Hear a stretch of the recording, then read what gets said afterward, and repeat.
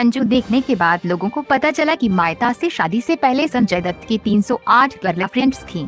जवानी में संजय दत्त को ड्रग्स की लत लग गई थी। उन्हें शराबी और लड़केबाज का तमगा भी मिल गया था। इन्हीं 308 गर्लफ्रेंड्स में से संजय दत्त की गर्लफ्रेंड टीना मुनीम भी थी। टीना और संजय दत्त ने 1981 में फ़िल्म रॉकी में काम किया था। टीना संजय दत्त की पहली गर्लफ्रेंड के साथ पहली को स्टार भी थी। संजय दत्त ने अपने इंटरव्यू में कहा था टीना ने कभी मुझे अपने परिवार से दूर करने की कोशिश नहीं की। उसने हमेशा मुझे सही रास्ता दिखाने की कोशिश की। वो मुझे अपने पिता और बहनों के पास वापस भेजती थी और इस बात पर हमारी लड़ाई भी होती थी।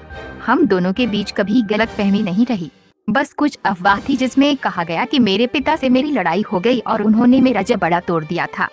इमोशनली मैं बहुत कमज़ोर हूँ। मुझे हमेशा अपने आसपास एक मज़बूत इंसान की ज़रूरत रही। मेरा माँ वैसी ही थी। उनके निधन से बाद उनकी जगह टीना ने ले ली। उसने मेरी ज़िंदगी को संभाल रखा था। लेकिन मैंने उसे अपने करियर के बारे में कुछ भी बोलने की इजाज़त नहीं दी। टीना ने मुझे कभी अपनी राइवल एक्ट्रेस के साथ काम करने से नहीं रोका। मैंने एक फ़िल्म पूनम ढिल्लन के साथ की थी और रंजीता के साथ काम करना मुझे अच्छा लगता था। मैंने भी अपनी गर्लफ्रेंड के करियर में कभी दखलंदाजी नहीं की। सिर्फ़ उसके कपड़ों को लेकर मैं चिंतित रहता था। मैं उसके लिए बहुत पजेसिव था। वो मेरी थी और मैं नहीं चाहता था कि वो स्क्रीन पर एक्सपोज करे। यही एक वजह थी जिसने उसके करियर को खत्म सा कर दिया था।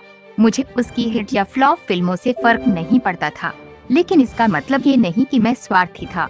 मैंने उसको कभी काम करने से मना नहीं किया। मैं अगले तीन साल में उससे शादी करने वाला था। मैं चाहता था कि वो अपनी लाइफ अच्छे से एंजॉय करे। कई बार मेरी गर्लफ्रेंड का नाम उसके कोस्टार के साथ जोड़ा गया।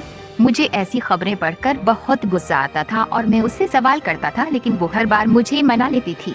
वो मुझे समझाती थी कि जो कुछ मैंने सुना है वो सच नहीं है। मुझे उससे सच्चा प्यार था न्यूज़ की रिपोर्ट।